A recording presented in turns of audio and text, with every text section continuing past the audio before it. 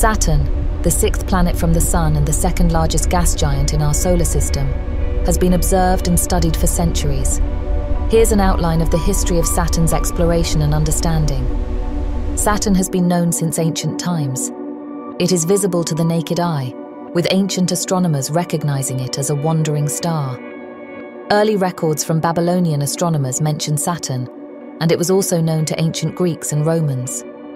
The Roman god Saturn, associated with agriculture and time, gave the planet its name. Galileo Galilei was one of the first to observe Saturn with a telescope in 1610.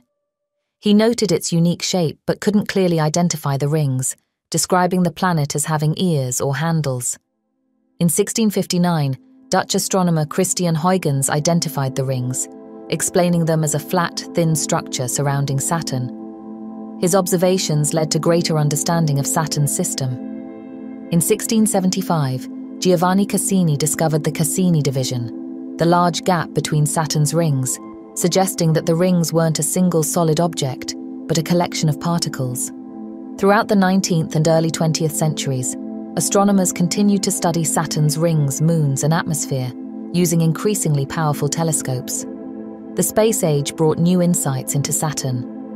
NASA's Pioneer 11 was the first spacecraft to visit Saturn, conducting a flyby in 1979 and sending back images and data about the planet's rings and moons.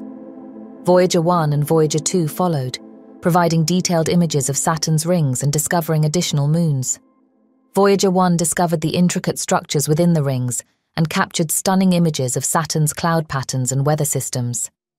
In 1997, NASA launched the Cassini-Huygens mission, a joint venture with the European Space Agency.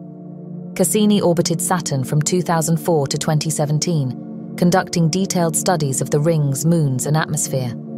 The Huygens lander separated from Cassini and landed on Titan in 2005, providing the first images from the surface of Saturn's largest moon. Cassini's mission provided extensive data, leading to discoveries about Saturn's weather patterns, magnetic field, and the composition of its rings. It also revealed intriguing information about Titan's atmosphere and Enceladus's subsurface ocean, raising questions about the possibility of life on these moons.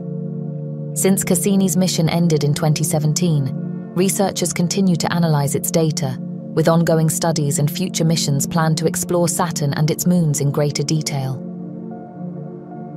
Saturn is a gas giant with no solid surface like Earth's. Instead, Saturn's surface refers to the point where its atmosphere transitions from gaseous to liquid, known as the cloud tops. Saturn's atmosphere is primarily composed of hydrogen, around 96%, and helium, about 3%, with trace amounts of methane, ammonia, and other compounds. The visible cloud tops consist of multiple layers. At the uppermost layer, clouds are composed of ammonia ice. Deeper into the atmosphere, temperatures and pressures increase, leading to layers of ammonium hydrosulfide and water ice. Saturn's surface appears banded due to its cloud patterns. These bands are caused by different wind speeds and temperatures at varying altitudes. Saturn's bands are more subtle than Jupiter's, displaying softer hues of yellow, brown, and grey.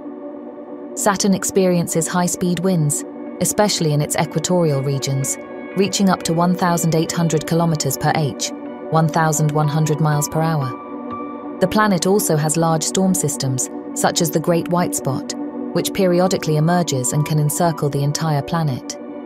Saturn has a magnetic field, though less intense than Jupiter's, creating unique auroras at its poles. These auroras can be observed as light displays in the planet's upper atmosphere, triggered by charged particles interacting with the magnetic field.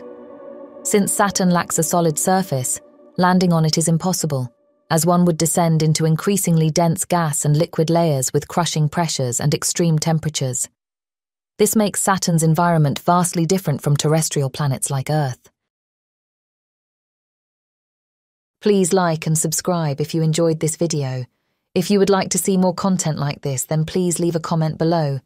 Thank you for watching.